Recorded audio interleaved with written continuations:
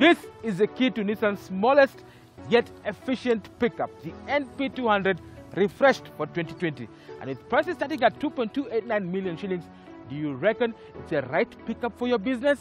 We're to find out later. But first things first, let's check out this particular design theme on this particular car. So this design has been there for quite a while on the front profile. And as you can see for the last decade, it's been standard. But now for 2020, they've enhanced the visual appeal to correspond with the design language that you probably find in the Nissan X-Trail, the Nissan Qashqai, the big boy Patrol and many other Nissan vehicles that are available right now on display. So basically the V-motion design on the Nissan on the logo corresponds that new age design by Nissan and of course you can see the plastic cladding of the bumper has been re-engineered just to give this car that je ne sais quoi we keep on talking about every single day. Of course you do have rectangular headlights and of course the quadratic grille that complements it and then of course the clear sight. This particular polycarbonate headlamp also increases visibility at night. Very important if you're traveling at night with the NP200 delivering goods and services from wherever you are. Now moving over to the side profile as you can see, again basic design's been there for 10 years and of course this being part of the CMF platform that the Renault Nissan family has. The dimensions are similar to probably what you probably find in a Renault Duster or any other Nissan product that has a CMF platform. It's scalable and it's tough. Now on the side as well as you can see, not too much fanciness as well, but you can see the color-coded side mirror and of course the bumper corresponding to each other. That je ne sais quoi that Nissan has is now being employed full effectively. And as you can see, the design face, the body panels are flat and of course a bit edged just to give this car that butch look as you can see. And of course the fuel tank on the right hand side.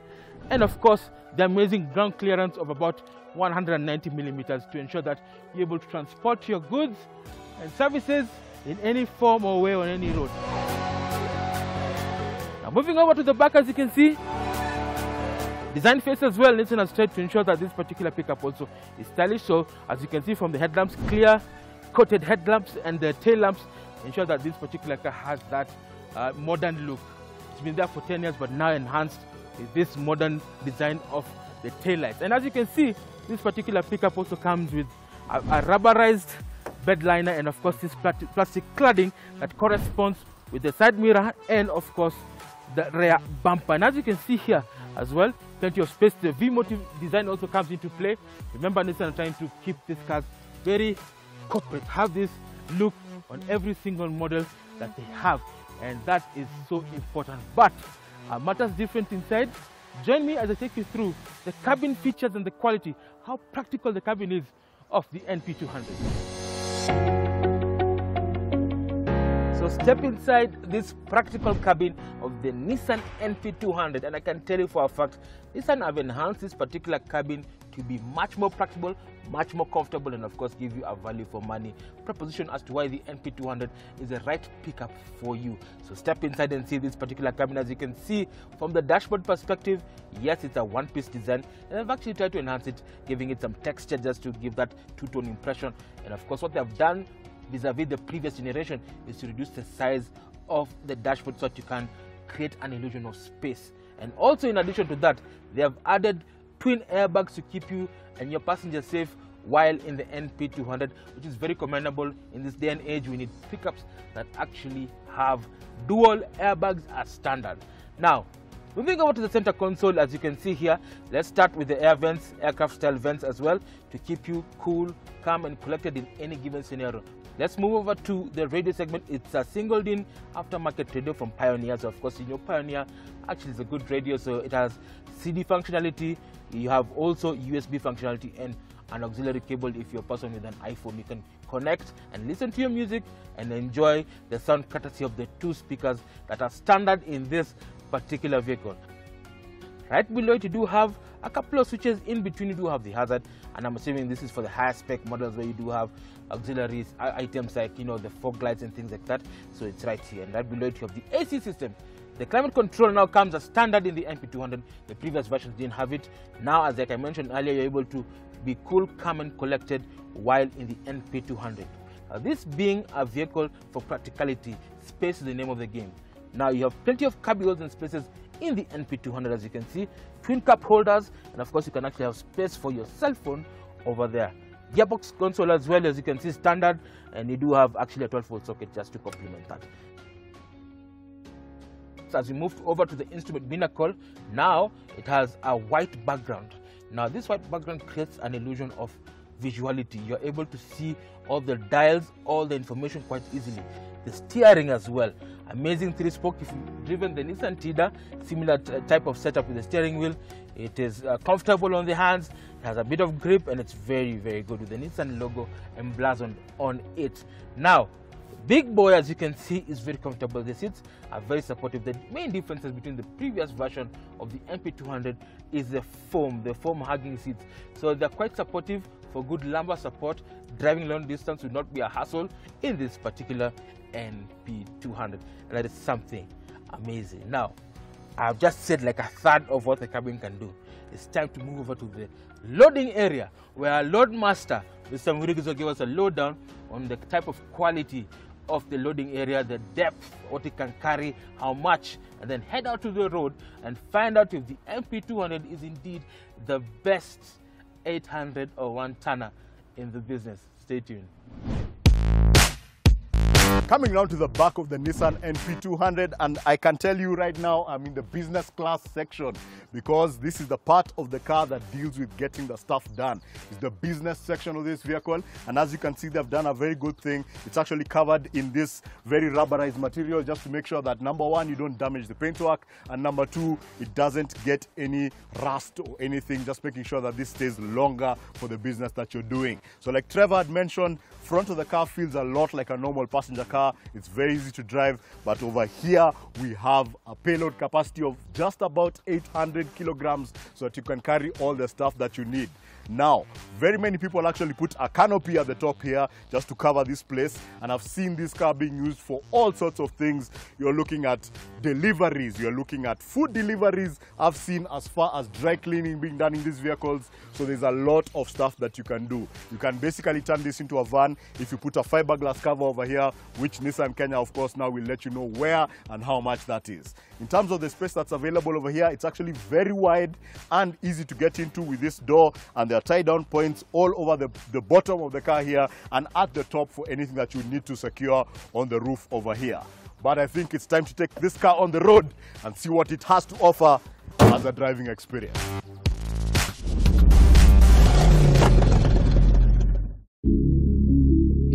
Tips on how to clean your engine bay. Many owners tend to forget the importance of having a clean engine bay. Dust, rust, oil and organic debris tend to block vital components such as sensors, vents, and contact points from working properly. It is therefore imperative that you clean your engine at least twice a month. You do not need to visit your regular car wash, but by following the engine clean tips below, you're able to save a penny or two in the long term. Number one, protect electrical wires and other important components. The first thing that you need to do is to identify key components that are sensitive to moisture and water. For example, the alternator, car alarms, sensors, exposed filters, and the air intake.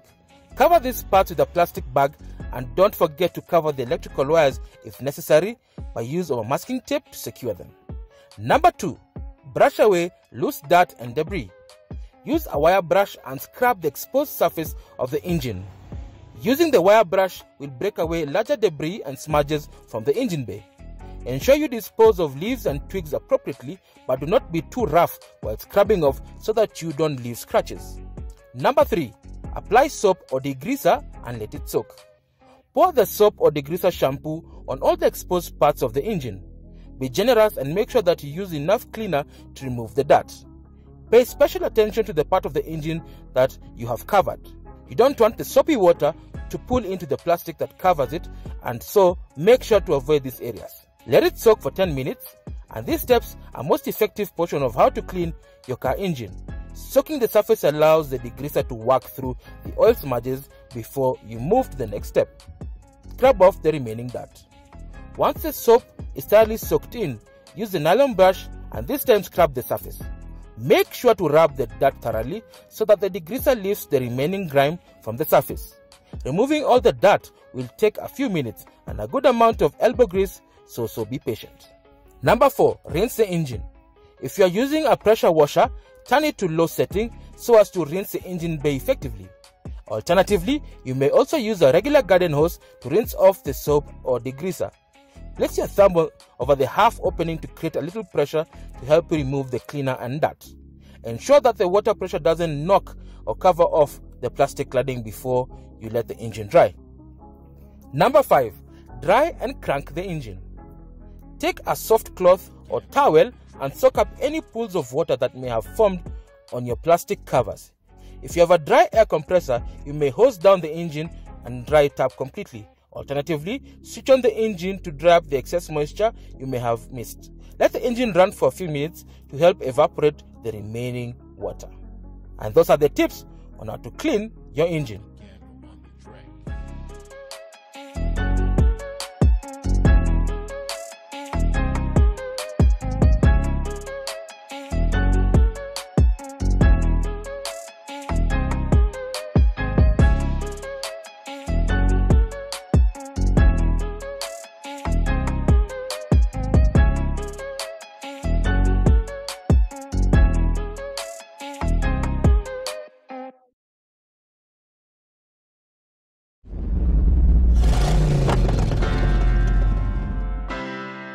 This week on Cars with Big Boy Trev used vehicle segment, we look at Kenya's best high performance vehicles. Here are our picks for the top three high performance vehicles available in the used car market.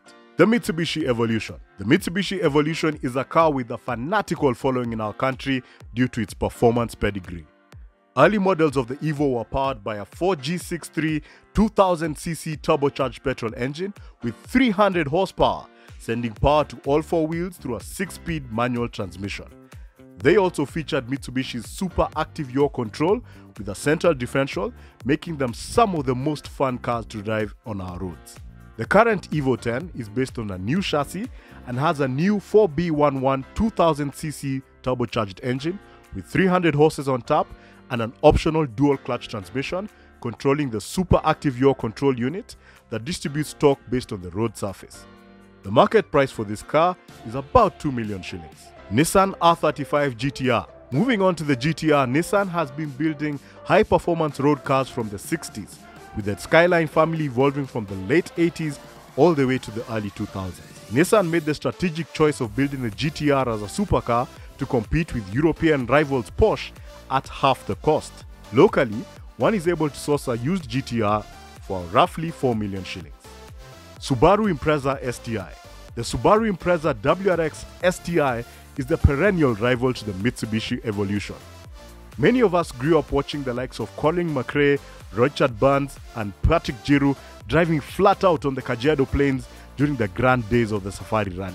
The STI competed in the World Rally Championship just like the Evolution and was powered by an EJ20 horizontally opposed 2000cc turbo engine developing 300 horsepower with power sent to all four wheels by Subaru's legendary symmetrical all-wheel drive system. The WRX is the most accessible performance vehicle for any enthusiast with prices starting at 1.7 million shillings.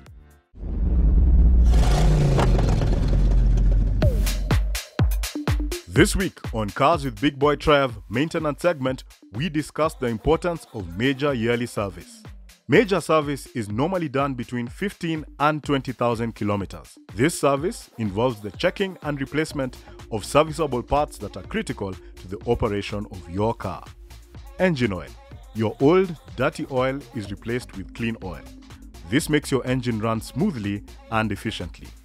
Filters. The oil, air, fuel, and pollen filters are all replaced. This makes your car run more effectively. Spark plugs. Your car's spark plugs are used in the combustion process and are replaced to maximize your vehicle's performance and enhance fuel economy. Brakes. Your brakes are inspected for wear and tear. If they are in good condition, they are cleaned and adjusted accordingly. If they are damaged, they are replaced.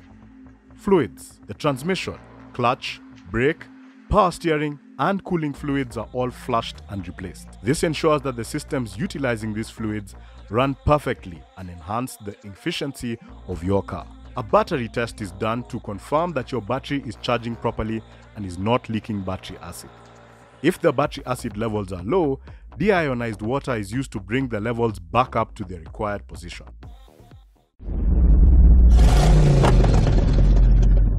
So guys, today on Cars with Big Boy Trev, we've just sampled the NP200. We've looked at its style, its practicality and nice time to find out how functional this particular car is. We're going to start with the engine power now. This particular engine that's in this NP200 is a 1.6 liter petrol engine, naturally aspirated with 8 valves per cylinder and it produces 64 kilowatts or 86 horsepower and 128 newton meters of torque that is sent to the front wheels courtesy of a 5-speed manual transmission which on full beans gives you very good response and of course doing the economy run this particular car will do 8 liters per 100 kilometers. In loose translation for your business with the tank being 50 liters it's able to do 625 kilometers on one full tank. Of course that depends on the load how you drive and etc but 625 is actually very good because you are able to go to Nairobi to Mombasa and go towards Malindi of course on reserve. You can go to Nairobi Kisumu and back on reserve as well. So in terms of fuel efficiency it's right up there. It's the perfect vehicle for your business. And of course with the rising fuel costs this is the car for your business. You're able to do quite a lot with minimal of cost. Now let's talk about the hardiness of the chassis. This particular NP200 is based on the CMF platform which is on the Renault Nissan Alliance now this chassis you also find it on the Renault Duster which you know it is very hardy. It's very stiff. That means it can carry and have a payload of up to 800 kilograms and of course have good ground clearance of about 210 millimeters so you can carry your stuff luggage around quite easily. Up front you do have MacPherson struts and at the back you have a H-beam trailing axle with coil springs and a torsion bar ensure that the rear doesn't bounce off and is very steady on any given surface. And of course you do have high profile tires that allows this car to go on murram stretches so you're able to deliver your products and services at ease which is very important. In terms of safety, the previous generation of this particular car didn't have quite a number of things. So what Nissan have done is enhance the offering of the NP200 to include an active, uh, an active safety package. So for example, this car has anti-lock braking system, which is standard now because pickups need to have ABS to be safe. Now, this prevents the wheels from blocking. During an emergency situation, you're able to swerve the vehicle into safety to avoid hitting an obstacle. But in case all hell breaks loose, then you can rely on the double airbags for the passengers and the driver that protects you and your passenger from harm's way. Up to 60% of crashes are actually um, hindered or prevented by the use of airbag in conjunction with the safety belt, which is the primary safety component of this particular car. That said, what is more important? Value for money. Would you buy this particular car vis-a-vis what you probably get on a similar panel van from the other brands? We're going to find out as we do our value for money proposition with Mr. Mwirigi right here on Cars with Big Boy Trev. So guys, you've seen the refreshed Nissan NP200 now ready for 2020 with better ergonomics, stylish interior and of course very efficient. Mr. Mwirigi, what are the highlights of this particular pickup? Well, this is the spiritual successor to the Datsun 1200, that Kadudu that a lot of people used to use now in small businesses all over the country. And I have to say, they've done a good job of refreshing this, bringing it into the 20th century. I like the fact that the front of the car looks and feels like a saloon car. It's very easy to drive and then business at the back with that big load box and that incredible capacity. Now, how much does it cost on the road? Well, prices for the Nissan NP200 start at 2.289 million shillings.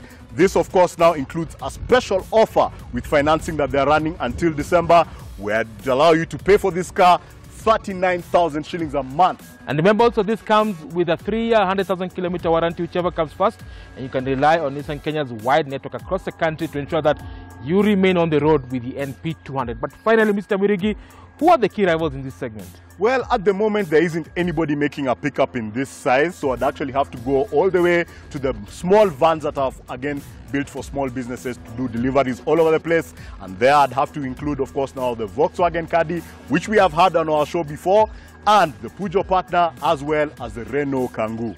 Wow, such a wide array to choose from. Do you reckon this particular NP200 Nissan is better than the rivals? Send us your thoughts as seen on the social media notes below. And we'll get back to you next week with the feedback. Signing out, this is Big Boy Trev This is Mwirigi. Drive safe. and be safe.